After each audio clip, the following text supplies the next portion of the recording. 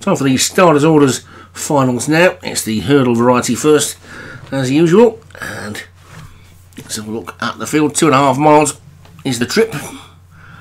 And at the top we've got Fifth Bay for Darren Thompson, Stan Miller, and October Sunset for Graham Clutterbuck, Palace Attraction, Padraig Hogan, Stay Active, David Hooley, Carmen, Kevin Minahan, Jane Burden, Martin Leadham, Barking Athletics, Stu Gray, Squadron Sandridge, Martin Leadham, and African Bloom for Stu Gray. So once again, then only 10, despite there being a qualifier just about every week.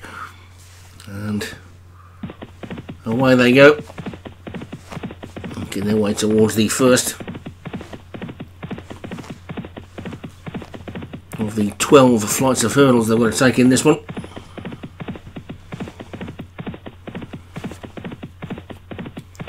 And Carmen led over it. Uh, Carmen's in front then. African Bloom is second. October Sunset third, Palace Attraction is fourth. Then Jane Burden and Squadron Sandridge as they get over the second, which they're also forgetting with those Stu Gray's horse Barking Athletic made a mistake. That's one that quite a few people will fancy off a decent weight at this one. It's run a couple of good races. Uh, they get over the third one, a big handicap the other week. Uh, may have been here actually at the Grand National meeting because it was very unlucky at Cheltenham in the Coral Cup, I think, it was running from about a mile out of the handicap and still managed to come second or third. And that's worth keeping an eye on as Carmen in the lead. Over flight four from Palace Attraction second. Squadron Sandridge is third. Then African Blue. Stan Miller. They come down towards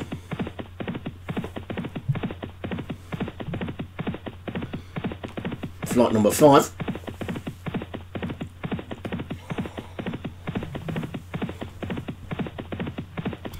Carmen leads over it from Squadron Sandridge in second. Palace Attraction third, then Stan Miller. Then African Bloom is fourth. As they get over the six, this is one of the few races of the season, and these last two as well. The two, the two previous to this, the Paul Moores and the Starters Order 7 that comes next. One of the few races, but the only, I think, four jump races in the season where you can have more than two runners. If you qualified six for this, you could run all six of them. And nobody, apart from Stu Gray, uh, Graham Clutterbuck, and myself, have put more than one in. So I'm sure most people would have had two or three qualified. I know I had about five. In the case of figuring out which ones to put in. But it's Carmen who's in the lead. From Squadron Sandridge in second, Stan Miller is in third, and Palace Attraction fourth, and October Sunset and African Bloom fifth Obey the top weight. Stay active is after that one. Barking Athletics now got up the inside, and Jane Burden has just dropped to the back of the pack.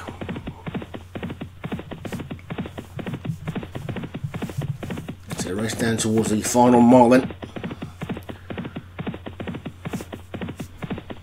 Carmen is in the lead over the seventh. Well, they're all safely over that then, with Carmen in front, Squadron Sandridge second, Stan Miller third, and then Palace Attraction African Bloom is after that one. October Sunset, all still in with chances as they get over this next one. Wouldn't rule anything out, there's only about 10 lengths first to last.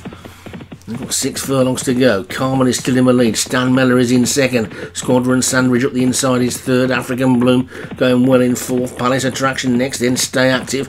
Then after that one comes October Sunset. Fit Obey under the top weight.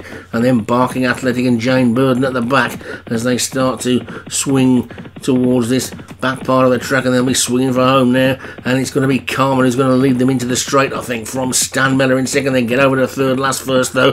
And it's Carmen in front. Stan Miller's in second. Squadron Sandridge is third. African Bloom is fourth. Stay Active being driven up the inside. Being driven up the outside is Fito Bay, Palace Attraction is still there. Jane Burden's trying to run on, but he's running very wide on the track. So too Barking Athletic and October Sunset. Those three a bit detached as they race down towards the final two. And Carmen's led all the way so far. Carmen's in front from Stan Miller and Fito Bay, as they come down towards this second last then now. Carmen's in the lead. Carmen pops over in front from Stan Miller. Fito Bay, Here comes African Bloom on the outside. Squadron Sandwich going through with the runners well. So too stay active and barking athletic now switches to the outside as they race to the final flight. Over it they go. And it's Stay Active who's hit the front from Barking Athletic who's beginning to wear him down. And it's Stay Active from Barking Athletic. Barking Athletic's beginning to get up, but Stay Active's holding on. Barking Athletic, Stay Active, and Barking Athletic is to take it.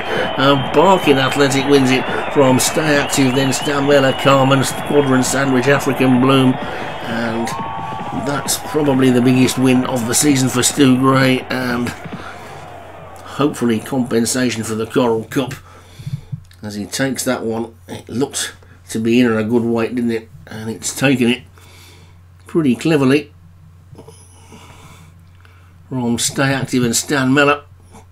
So Barking Athletic with Stu Gray wins it. Stay Active for David Hooley was second. Stan Miller, Graham Clutterbuck third. Long time leader Carmen for Kevin Mead fourth. And Squadron Sandwich was fifth.